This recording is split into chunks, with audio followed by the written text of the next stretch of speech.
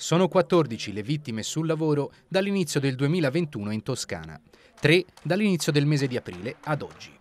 Un bilancio drammatico che ha spinto CGL, Cisle, Will Toscana a manifestare davanti alla sede della prefettura di Firenze a sostegno della mobilitazione nazionale Fermiamo la strage nei luoghi di lavoro, per ottenere dal governo Draghi un patto per la salute e la sicurezza che coinvolga tutte le parti in causa. Noi non possiamo pensare che da inizio anno oltre 200 sono i morti sul lavoro, tantissimi gli infortuni, si va a lavorare per vivere e non per morire.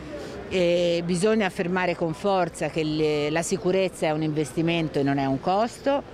E, e quindi chiediamo al governo di sottoscrivere un patto per la sicurezza. Queste morti ormai stanno diventando un record insopportabile e soprattutto un record italiano direi perché tre morti al giorno e non sono, sono qualcosa di più diventa veramente un problema endemico, non è più un problema accidentale e non è più un problema incidentale, bisogna andare alle origini e secondo noi finora c'è stato molte parole e pochi fatti. Ma oltre alla sicurezza fisica anche la tutela dell'occupazione, perché a rischiare di perdere il posto di lavoro sono oltre 100.000 toscani. Si chiede quindi proroga del blocco dei licenziamenti, riforma degli ammortizzatori sociali e la cancellazione di alcune deroghe al codice degli appalti contenute nel nuovo decreto semplificazioni. Il rischio proprio è quello di migliaia, centinaia di migliaia di posti di lavoro che rischiamo di perdere. Non ce lo possiamo permettere. Noi abbiamo un po' di tempo, dobbiamo pensare anche che ci sono le condizioni per creare la possibilità di dare a chi sta perdendo il lavoro o a chi lo perderà la possibilità di qualificarsi o riqualificarsi. Servono politiche attive, la Regione Toscana lo può fare come tutte le regioni, come chiediamo a livello nazionale lo chiediamo alle istituzioni regionali.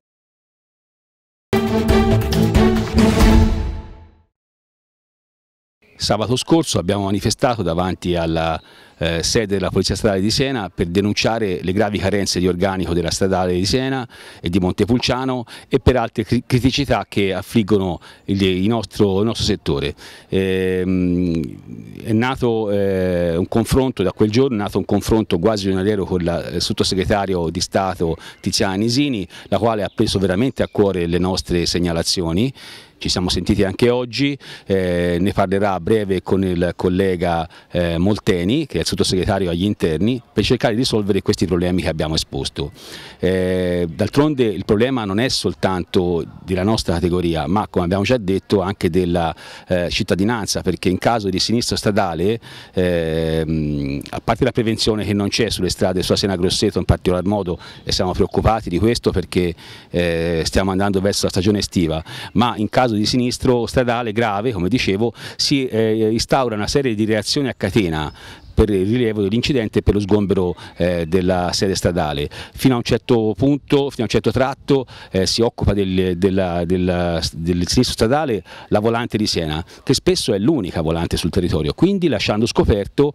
eh, la prevenzione, furti, rapine e quant'altro di reati in genere, tutta la città di Siena. E dopo un certo eh, settore della, della strada per Grosseto eh, se ne possono occupare la stazione dei carabinieri di Murlo piuttosto che di Monticiano, anche loro lasciando scoperti i loro paesi dalla prevenzione dei reati in genere. Il, la vicenda che abbiamo ma, così pubblicamente denunciato sabato scorso potrebbe anche rappresentare un punto di svolta verso la collaborazione e verso il confronto fra le varie forze di polizia infatti prima di eh, organizzare questa manifestazione ho avuto un incontro con altri esponenti di, altri, di, altre forze di polizia, con rappresentanti di altre forze di polizia, tra cui il nuovo sindacato Carabinieri, ma anche il sindacato autonomo della polizia penitenziaria ed altre, ed altre maestranze di categoria e tutti abbiamo convenuto che questi sono problemi seri per noi ma anche e soprattutto per la cittadinanza e per l'utenza. È vero che come diceva Silvio Gigli Siena trionfa immortale, ma per farla trionfare ci vogliono i mezzi sul campo e in questo momento non ci sono. €500 euro a fondo perduto per l'acquisto di tablet, PC oppure di abbonamenti per accedere a internet. Per ricevere il contributo si deve avere un ISA inferiore a 20.000 euro. Questo aiuto per i cittadini arriva con risorse statali, è il voucher connettività. Credo che con questo eh, messaggio si possa davvero andare incontro alle esigenze eh, dei ragazzi, di molte famiglie che trovano difficoltà o per motivi di connessione o per motivi di materiale non adeguato a seguire la didattica a distanza. L'assessore alla connettività della Toscana Stefano Ciuoffo ha sottolineato che questo importante provvedimento ha un problema di comunicazione. Molti di questi messaggi eh, vengono trasmessi dagli operatori e non da, come messaggio istituzionale. Eh, nella confusione delle offerte economiche rischia di andare perduto invece il contenuto vero, eh, risorse pubbliche messe a disposizione eh, per i cittadini, anche se veicolate dagli operatori e dai gestori della telefonia.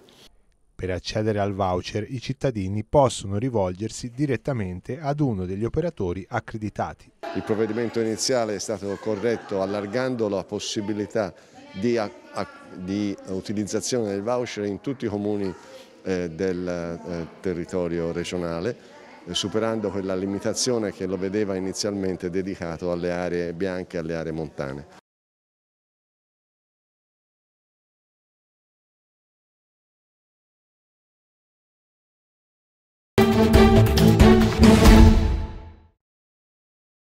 Chiude in bellezza la Scea, la pool promozione del campionato di Serie C Gold, una vittoria netta contro Agliana che chiude alla perfezione il percorso fino a questo momento perché adesso iniziano i playoff. Coach, stasera una buona prestazione soprattutto nella seconda parte,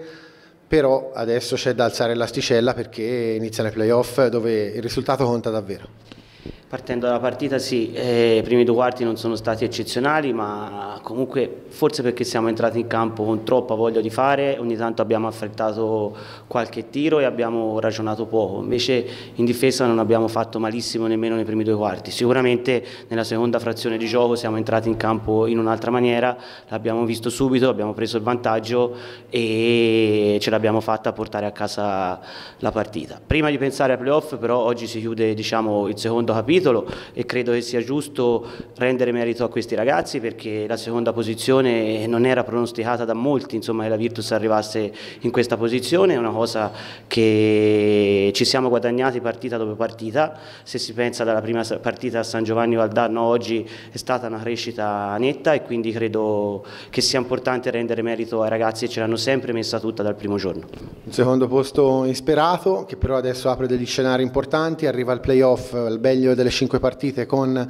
Castelfiorentino, una serie che si inizierà domenica, però non sarà sicuramente facile perché Castelfiorentino è squadra imprevedibile, con talento offensivo soprattutto sugli esterni ma anche nei lunghi e quindi una squadra da affrontare con le molle. Assolutamente una squadra pericolosissima come avevo già detto, si è visto perché ci abbiamo giocato due partite e al di là delle due vittorie sono state due vittorie molto sofferte, quindi è una squadra molto imprevedibile, una squadra che non muore mai, una squadra che quando è sotto è il momento più pericoloso perché ritornano sempre in partita e quindi sarà una partita molto difficile. Posso dire che Castel, le altre due partite con, questa, con Castelfiorentino le abbiamo preparate eh, in un giorno solo e ora abbiamo una settimana intera per eh, prepararle, però ci penseremo da martedì perché stasera fortunatamente possiamo festeggiare una normale cena e l'unica cosa è mancata a questi ragazzi perché loro dopo le partite chiedono solo di festeggiare una semplice cena e stasera lo possono fare.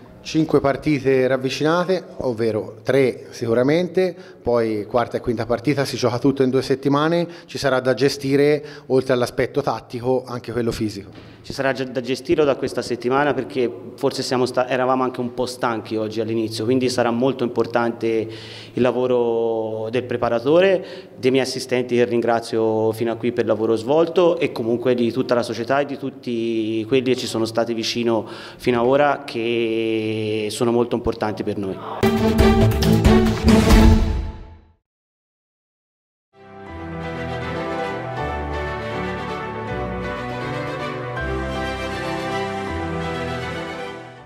Buona serata, iniziamo dalla situazione sinottica prevista per domani sul Mediterraneo centrale e orientale continua a fluire aria un po' più fresca e secca, determina locali condizioni di instabilità. Nei prossimi giorni questa, questo flusso verrà sostituito da correnti più occidentali, più calde. Ecco la previsione intanto per domani, prevalenti condizioni cielo sereno, poco nuvoloso in mattinata, poi nel pomeriggio qualche addensamento solo sui rilievi, temperature massime in aumento fino a 26-28 gradi. Giornata del 2 giugno un pochino più incerta, un po' più eh, nuvolosità soprattutto sui settori occidentali già dalla mattina, poi nel pomeriggio prevalenti condizioni di cielo eh, parzialmente nuvoloso o nuvoloso sui settori più meridionali, ma bassa probabilità di precipitazioni, temperature senza variazioni di rilievo, venti che tenderanno a disporsi dai quadranti meridionali. Bene, è tutto, vi auguro una buona serata.